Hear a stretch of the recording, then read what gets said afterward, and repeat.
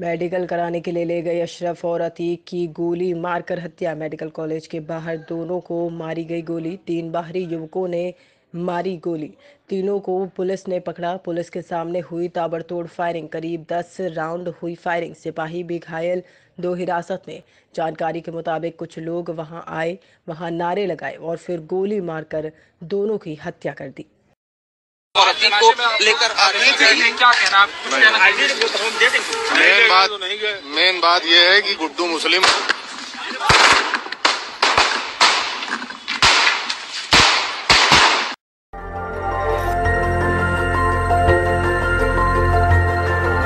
देखते रहिए डीवी भारती समाचार।